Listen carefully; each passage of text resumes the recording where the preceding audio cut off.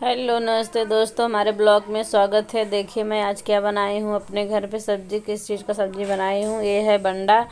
आप लोग इसको नाम सुने हैं कि नहीं, कमेंट करके ज़रूर बताएगा, इसका सब्ज़ी खाए हैं कि नहीं। और इसको देखिए, पानी में डाल के इसको अच्छे से धुल लेते हैं और बहुत ही इसमें क्योंकि ये ज़मीन में पाया जाता है, इसमें इसलिए मिट्टी रहता है, इसको अच्छे से धुल लेना चाहिए। इधर देखिए, बंडे को अच्छे से छील लिए हैं, अच्छे से बाकायदे, और इसको चल रहे हैं अब काटने। और इसको देखिए, लंबे लंबे भाग में काट लिए हैं, अब छोटे छोटे भाग में काटेंगे जैसे आलू का सब्ज़ी हम लोग बनाते हैं। उसी तरीके से बनाया जाता है, और बहुत ही अच्छा लगता है ये खाने में सब्ज़ी। और इस तरीके से बनाएँगे हम, जैसे हम बना रहे हैं, इस विधि से बनाएँगे तो और टेस्टी लगेगा है क्योंकि हम बहुत लोग तो ऐसे ही बना देते हैं तो अच्छा नहीं लगता खाने में। देखिए, इसको एकदम जैसे पनीर लग रहा है पनीर की तरह कट भी रहा है, बहुत ही अच्छा लग रहा है काटने में।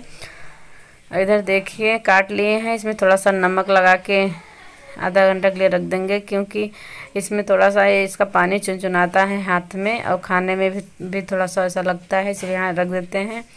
इसमें ताकि इसका जो पानी है निकल जाए, वनडे का पानी निकल जाए, नमक नमक से पूरा अच्छे से निकल जाएगा। देखिए, इधर आधा घंटा बीत गया है और पानी में डाल के इसको अच्छे से धुल लेते हैं। और इसमें देखिए, थाली में चलने वाले थाली में थाली में छान छान लेते हैं। देख सकते हैं आप लोग इसका पानी कैसा लग रहा है, जैसे दूध लग रहा है। और देखिए, इधर अच्छे से छान लिए हैं। इधर ले लिए हैं प्याज ये काट के। बड़ा हुआ प्याज था, उसको काट लिए हैं। अब चल, इधर ले लिए हैं, देखिए लहसुन ले लिए हैं छिलके और मिर्ची है, अदरक का टुकड़ा है। और लहसुन, मिर्च डाल के अच्छे से मिक्सी जार में देखिए पीस लिए हैं। और इसको निकाल लेते हैं बाहर और प्याज भी डाल के इसको मिक्सी जार में पीस लेते हैं। प्याज भी इधर डाल लिए हैं मिक्सी जार में। अब इसको भी ऐसे पीस लेते हैं। देखिए, अच्छे से पीस भी गया है ये। और इस सब चीज़ों को बाहर निकाल लेते हैं। इधर एक ले लिए हैं टमाटर। टमाटर को भी काट लिए हैं। अब इसको भी मिक्सी जार में अच्छे से डाल के पीस लेते हैं।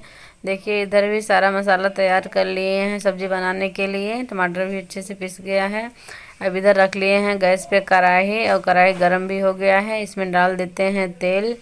तेल गर्म हो जा, हो गया है। अब इसमें डालेंगे थोड़ा सा जीरा, एक चुटकी। देख सकते हैं, जीरा डाल दिए हैं और दो तीन डाल दे रहे हैं करी पत्ता। करी पत्ता का स्वाद बहुत ही अच्छा लगता है। ये हर सब्ज़ी में डाल सकते हैं, जो रसेदार सब्ज़ी हम लोग बनाते हैं, मसालेदार उसमें डाल सकते हैं। देखिए, दोनों हो गया है। इधर डाल देते हैं अदरक, मिर्ची, लहसुन का पेस्ट। अब इन सब चीज़ों को अच्छे से भून लेते हैं। और थोड़ा सा हो जाए क्योंकि लहसुन जल्दी नहीं होता है, इसलिए पहले मैं इसको डालती हूँ। अब इधर डाल दे रहे हैं प्याज। प्याज को भी डाल के अच्छे से भून लेते हैं। इसका सब्ज़ी बहुत ही टेस्टी लगता है। आप लोग कौन कौन बंडा खाए हैं, कमेंट करके ज़रूर बताइएगा। और मेरी वीडियो ज़रूर अंत तक देखिएगा। आप लोग मेरी वीडियो पूरा नहीं देखते हैं। बहुत ही अच्छा लगता है।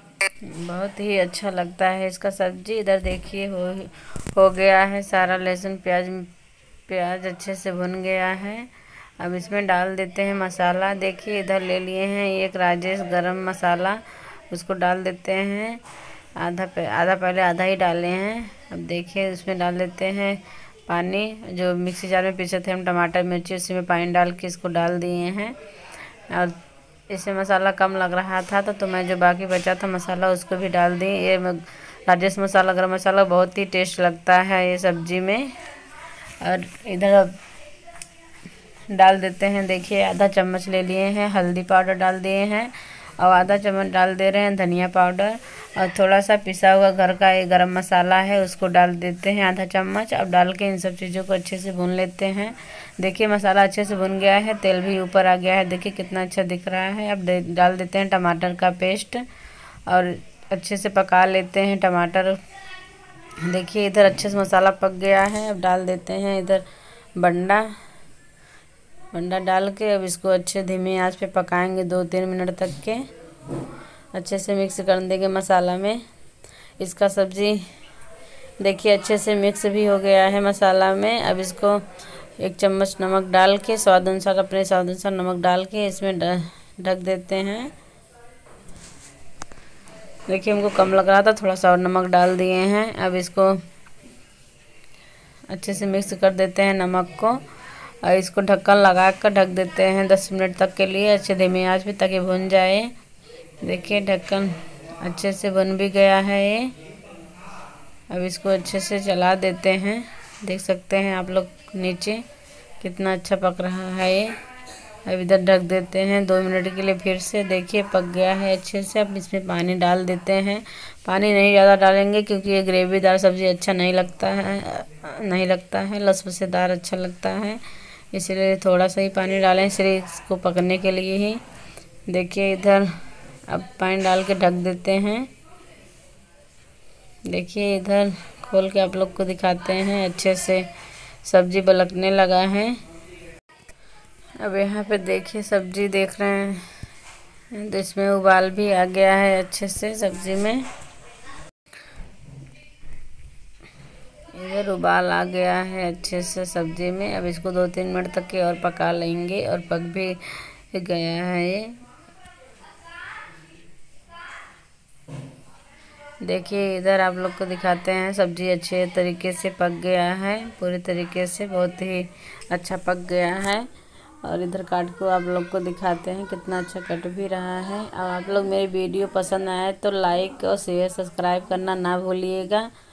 और कौन कौन बंडे का सब्ज़ी खाया है, कमेंट करके ज़रूर बताइएगा आप लोग। और इस तरीके से बनाइए, और बहुत ही अच्छा लगता है। इसको पूड़ी या पराठा से खाइए। सब्ज़ी को देख सकते हैं, सब्ज़ी पक गया है अच्छे से। इसको मैं नीचे उतार ली हूँ। अब कटोरी में निकाल कर आप लोग को दिखाती हूँ कितना टेस्टी बना है सब्ज़ी, कितना अच्छा लग, दिख रहा है। और खाने में कितना टेस्टी होगा। और मेरे वीडियो आप लोग ज़रूर अपने दोस्तों में शेयर करिए और आप लोग मेरे वीडियो को अंत तक ज़रूर देखिए। चलिए मिलते हैं किसी नेक्स्ट वीडियो में। Bye bye